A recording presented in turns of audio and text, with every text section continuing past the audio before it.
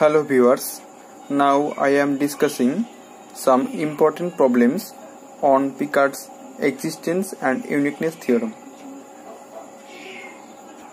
Today's first problem is show that for the problem dy dx equals to y under the condition y0 equals to 1 the constant a in Picard's theorem must be smaller than unity.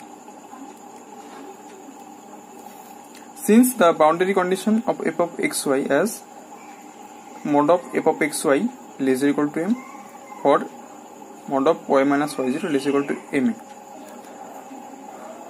We know that these conditions and here given problem is f of xy equals to dy dx equals to y under condition y is equals to 1.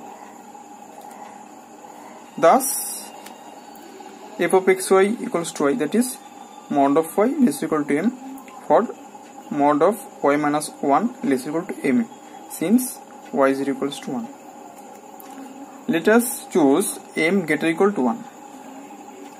Now for the Lipschitz condition we also see that mod of f of x comma y2 minus f of x comma y1 equals to y2 minus y1 since f of x equals to y which is less equal to m into mod of y2 minus y1 and from here we get m greater equal to 1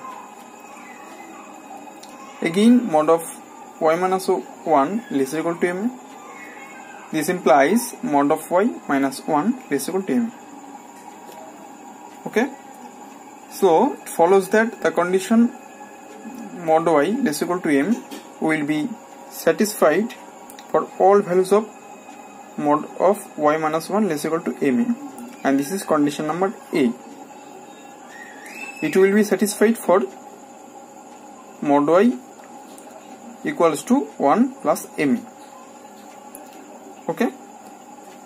Thus from a we get since mod y equals to 1 plus ma that is 1 plus ma less equal to m and from calculating we get a lesser equal to 1 minus 1 divided by m which is less than 1 since 1 less equal to m less than infinity. Okay? So hence the proof. Okay? Here the constant a in Picard's theorem must be smaller than unity and here a is less than 1 which is smaller than unity this completes the proof. Next problem. Prove that dy dx equals to 2y by x. Y of x0 equal to y0 has a unique solution if x0 not equal to 0 discuss the case when x0 equal to 0 so here f of xy equals to 2, 2y divided by x.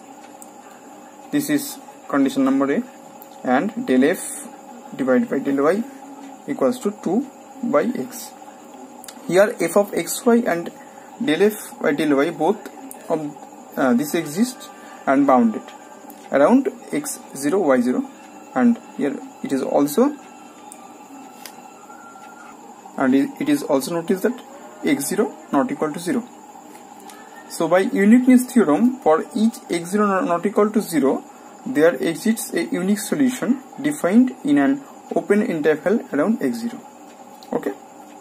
So first part is proved now from a we have dy dx equals to 2y by x.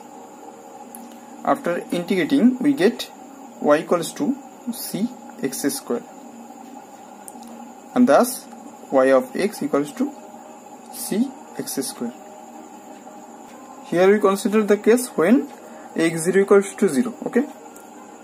So when x0 equals to 0 there exists no solution because the function is 2y divided by x. So when x0 equals to 0 there exists no solution when y0 not, not equal to 0 it is also notified that is y0 not equal to 0 also if y0 equals to 0 then we have infinite number of solutions y equals to cx square. Okay? Where c is a real number and which is satisfy the initial value problem dy dx equals to 2y by x under the condition y 0 equals to 0 so we can summarize this uh, problem as three types solution. Number one a unique solution in an open interval containing x0 if x is not equal to 0 no solution. If x0 equals to 0 and y0 not equal to 0 and infinitely many solutions if x0 and y0 equals to 0 and 0 okay? It's a very important problem. Okay? Today's third problem is show that the function f of tx equals to x plus x square cos t by t square satisfies Lipschitz condition in mod x less equal to 1 and mod of t minus 1 less than half and find the Lipschitz constant. It's a very important problem and very easy. Okay. Now mod of f of t x1 minus f of t x2 equals to mod of x plus x1 square cos t by t square minus x2 plus x2 square cos t by t square. Taking this term is common that is cos t divided by t square and x1 minus x2 and plus x1 square minus x2 square which can be written as x1 plus x2 into x1 minus x2 which is lesser equals to mod of cos t by t square mod of x1 minus x2 mod of 1 plus x plus x2 each mod is separable here. Since by the given condition mod of t minus 1 less than half. That is we get half less than t less than c by 2 maximizing the right hand side we get mod of f of t comma x1 minus f of t comma x2 less equals to since mod of cos t less equal to 1 and here maximizing t we get t greater than half. So 1 divided by half square mod of x1 minus x2 remain invariant and since mod x less equal to 1 that is mod of 1 plus 1 plus 1 which is less equal to.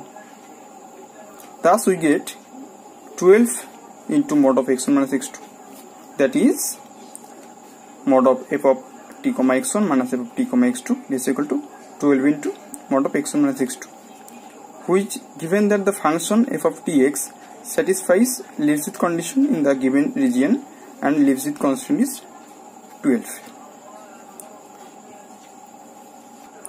okay I will discuss more mathematical topics on applied mathematics Thanks for watching.